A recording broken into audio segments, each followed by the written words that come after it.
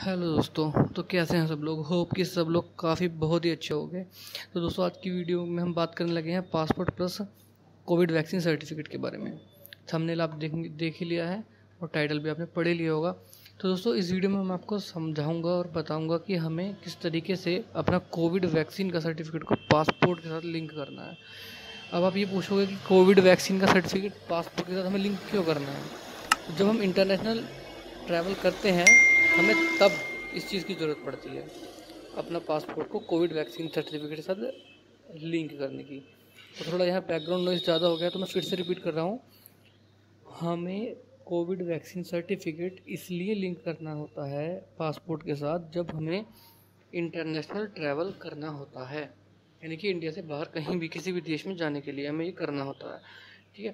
तो इस वीडियो में आपको बताने लगा हूँ तो चलिए वीडियो की तरफ़ बढ़ते हैं। और हाँ एक आपसे रिक्वेस्ट है, अगर वीडियो पसंद आए तो प्लीज़ वीडियो को लाइक करके चैनल चैनल पर नए हो तो प्लीज़ चैनल को सब्सक्राइब करके जाना और अपने दोस्तों के साथ शेयर कर देना जिन इन चीज़ों की ज़रूरत पड़ती रहती है। तो चलिए पढ़ते हैं वीडियो की ओर।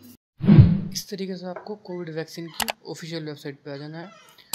जैसे कि आप देख सकते हैं आपको समझ में आ रहा होगा, मेरे कर्जर के साथ येलो येलो कलर का हाईलाइटर चल रहा होगा तो मैं आपको बता देता हूँ।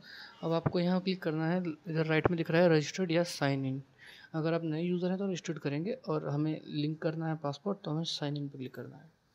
इस पर क्लिक करने के बाद पेज रीडायरेक्ट होगा। और एक चीज़ का ध्यान रखें फ़ोन आपको अपने पास रखना है जब ये काम करना है, क्योंकि आपके फ़ोन पर ओटीपी आएगा। ठीक है, अब मैं यहाँ पर वो नंबर डालने लगा हूँ, जिस नंबर से मैंने खुद की वैक्सीन लगवा रखी है।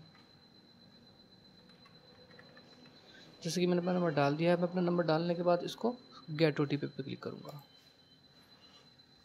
जैसे कि गेट ओ टी पी पे क्लिक किया, मेरे फ़ोन पे ओ टी पी आने वाला है। ओ टी पी आ गया है ओ टी पी डाल रहा हूँ। ओ टी पी डालने के बाद आपको क्लिक करना है वेरीफाई एंड प्रोसीड पे। ये मैंने क्लिक कर दिया। इस तरीके से देखिए, इस तरीके से ये इसमें खुल जाएगा।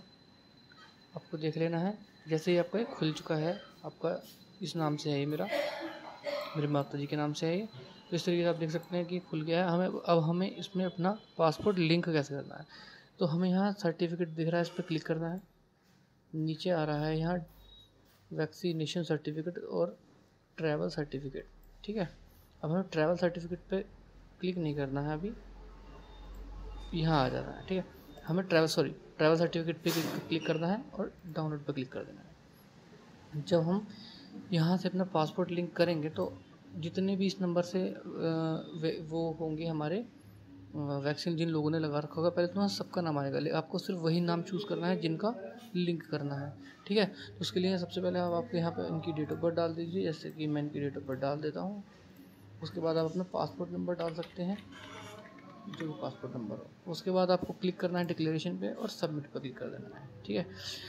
तो अभी इनका पासपोर्ट है नहीं तो इनको पासपोर्ट अभी बन रहा है तो अभी पासपोर्ट नंबर मिला नहीं है तो इसके लिए मैं आपको बस बताने के लिए मैंने वीडियो बनाया आपको उसका सबमिट रिक्वेस्ट पर क्लिक करके अपना वापस बैक आ जाएँगे आप ऑटोमेटिक जैसे ही आप बैक आएँगे बैक आने के बाद आप फिर सर्टिफिकेट पर क्लिक करेंगे इंटरनेशनल ट्रैवल सर्टिफिकेट और फिर जब आप यहाँ से डाउनलोड पर क्लिक करेंगे, तब आपका जो सर्टिफिकेट वैक्सीन का डाउनलोड होगा, उस पर नीचे आपकी डेट ऑफ़ बर्थ आपका नाम प्लस आपका पासपोर्ट नंबर लिखा होगा।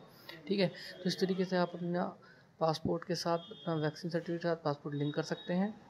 होप कि आपको इस समझ में आया होगा, बहुत ईजी था। और अगर आपको दोस्तों ये वीडियो पसंद आई हो, समझ में आया तो प्लीज़ वीडियो को लाइक करें चैनल पर नहीं हो तो चैनल को ज़रूर से सब्सक्राइब करें और दोस्तों के साथ शेयर करें। तब तक के लिए बाय मिलते हैं अगली वीडियो में।